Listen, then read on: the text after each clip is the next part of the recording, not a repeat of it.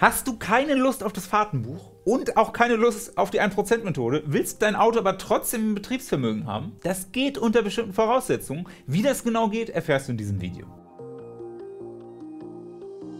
Hi, mein Name ist Melcher von der Kontist Steuerberatung und grundsätzlich funktionieren Firmenwagen ja folgendermaßen. Du entscheidest dich, ein Auto als Betriebswagen, als Firmenwagen anzuschaffen und dann laufen alle Kosten, die im Zusammenhang mit diesem Auto sind, erstmal durch die Buchhaltung als Betriebsausgabe. Also die Anschaffung, das Tanken, die Reparaturen, die Steuern, die Versicherung, einfach alles wandert erstmal in die Buchhaltung. Dann kann es aber trotzdem sein, dass du dieses Auto auch irgendwie privat benutzt. Das wird dann so gemacht, dass du den privaten Nutzungsanteil ermittelst und diesen Nutzungsanteil, also den Wert, den rechnest du auf deinen Umsatz drauf. Also so eine Art, wie so ein Fake-Umsatz, so ein Scheinumsatz. Den buchst du in deine Buchhaltung ein. Und darauf musst du dann Umsatzsteuer und Einkommensteuer zahlen. Und die große Frage ist hier natürlich, wie rechnest du das eigentlich aus? Also wie rechnest du aus, wie groß der private Nutzungsanteil ist? Da gibt es einmal eine korrekte Methode, das ist das Fahrtenbuch. Du schreibst einfach jede Fahrt auf, jeden Kilometer und kannst dann sagen, naja, diese Fahrten waren betrieblich und diese privat. Und damit hast du einen exakten Prozentsatz der Nutzung. Und dann musst du halt die Kosten nehmen, davon die privaten Nutzungsanteil rechnen und das ist dann den Umsatz, den du extra versteuern musst musst. Wenn dir das zu viel Arbeit ist, dann hast du auch eine Vereinfachungsmethode. Da hat der Gesetzgeber gesagt, naja, dann nimm einfach 1% des Bruttolistenpreises des Autos und das versteuerst du jeden Monat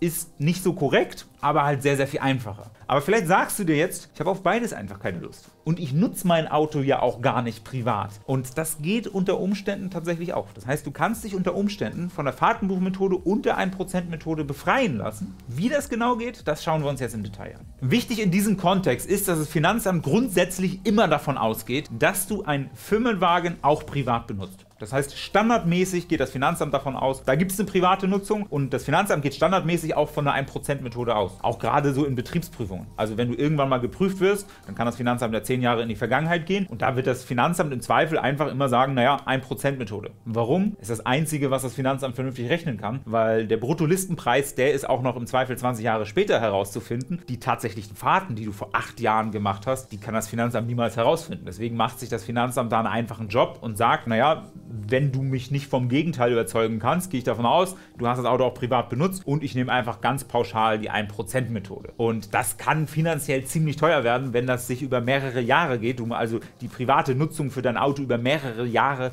nachhinein versteuern musst. Das kann wirklich richtig teuer werden. Und die Beweislast, dass du gar keine private Nutzung hast, die liegt immer bei dir. Das heißt, du musst alle Nachweise, Beweise, Belege, Indizien und so weiter sammeln. Denn es ist dein Job, das Finanzamt davon zu überzeugen, überzeugen, dass gar keine private Nutzung vorgelegen hat. Doch wie weißt du das Ganze eigentlich nach? Also was sind eigentlich Gründe, die das Finanzamt überzeugt? Und ein erster Aspekt wäre, wenn du zum Beispiel ein Firmengelände hast und das Firmenfahrzeug immer da bleibt. Also das wird dann auch nachts geparkt und idealerweise sind auch die Schlüssel und Zugangsdaten zu diesem Auto nur da auf diesem Firmengelände, also da im Büro abgelegt beispielsweise. Und wenn du nach Hause fährst oder auch privat unterwegs bist, dann nutzt du ein anderes Auto. Also wenn das geregelt ist, dass das Auto quasi diesen betrieblichen Bereich nie verlässt, dann ist das relativ klar, dass das auch ausschließlich ein Firmenwagen ist. Und ein zweiter Aspekt ist, ja relativ logisch eigentlich, wenn sich das Auto gar nicht eignet, privat genutzt zu werden keine Ahnung, ein Trecker, Mähdrescher, Planierraupe und all solche Sachen, aber auch so Werkstattwagen, so, so, ein LKW. Das ist relativ klar, dass man damit nicht in den Urlaub fährt oder auch nicht irgendwie sein Kind in die Kita bringt oder den Wocheneinkauf erledigt. Das heißt, wenn die Beschaffenheit des Autos wirklich so ist, dass man es eigentlich nur für die Arbeit nutzen kann, dann muss da auch kein Fahrtenbuch geführt werden. Dann ist halt relativ klar,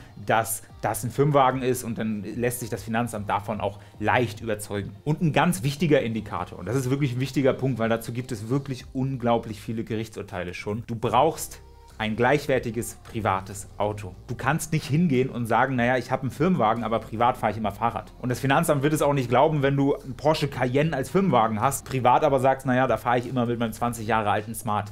Das glaubt dir das Finanzamt einfach nicht. Du brauchst ein gleichwertiges Auto. Also was zum Beispiel gehen würde, ist, wenn du privaten Passat fährst und im Betriebsvermögen Firmenwagen hast wie ein Audi A4 oder Audi A5. Das heißt, das ist so die gleiche Klasse. Und wenn das gegeben ist, kannst du das Finanzamt schon davon überzeugen, zu sagen, das eine ist ein 100% Betriebsfahrzeug, das nutze ich ausschließlich für meinen Beruf und das zweite Fahrzeug nutze ich ausschließlich privat.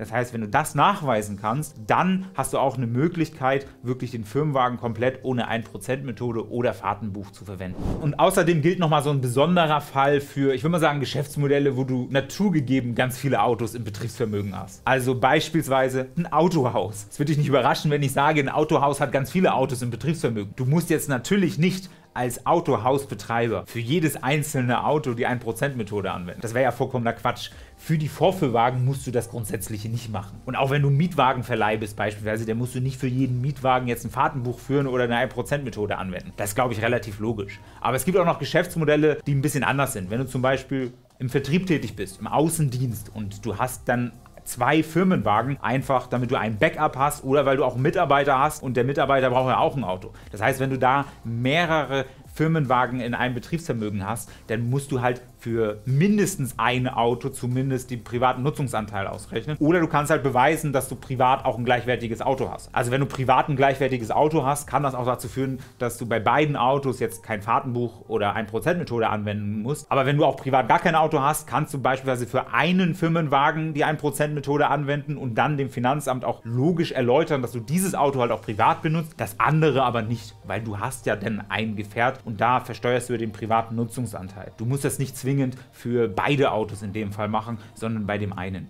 Und das ist am Ende auch das, was das Finanzamt überprüft. Hast du privat irgendein gleichwertiges Auto zur Verfügung? Und wenn das gegeben ist, dann ist das vollkommen fein und dann kannst du das Finanzamt davon auch überzeugen, für das andere Auto nichts dergleichen anzuwenden. Abschließend möchte ich noch einmal darauf hinweisen, dass die Beweislast bei dir liegt. Also du solltest das Ganze wirklich sauber dokumentieren. In dem ganzen Bereich Firmenwagen, gab und gibt es so unglaublich viele Gerichtsurteile. Das liegt daran, weil das Finanzamt sich das immer als erstes anschaut. Da sind die meisten Steuerpflichtigen, die meisten Selbstständigen besonders kreativ. Deswegen mein dringender Appell an dich, versuch da nicht das Recht zu biegen irgendwie, mach das Ganze korrekt. Das Finanzamt guckt sich sowieso gleich als erstes immer die Firmenwagenversteuerung an. Wenn du dazu noch Fragen hast, dann schreib uns auch gerne einen Kommentar und ich versuche dir gerne weiterzuhelfen. Wenn du selbstständig bist und sagst, na, ich hätte eigentlich super gerne mal Hilfe bei meiner Buchhaltung und bei meinen Steuererklärungen und auch bei der Kfz-Versteuerung, dann sind wir vielleicht der richtige Steuerberater für dich. Wir sind nämlich spezialisierte Online-Steuerberater für Freiberufler und Selbstständige und wie wir dir weiterhelfen können, das erfährst du, wenn du einmal hier klickst. Aber du kannst natürlich auch erstmal die weiteren Videos auf diesem Kanal anschauen, zum Beispiel dieses hier oder dieses hier.